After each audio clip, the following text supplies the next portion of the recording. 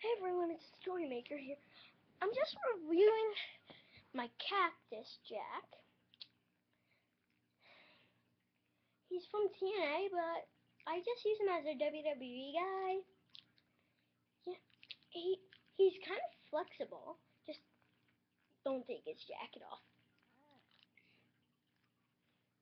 He's ugly without his jacket. And it's hard to get back on. He is pretty cool. Like, I can also review one more wrestler today. I'll go get one. Sorry to keep you waiting for a little.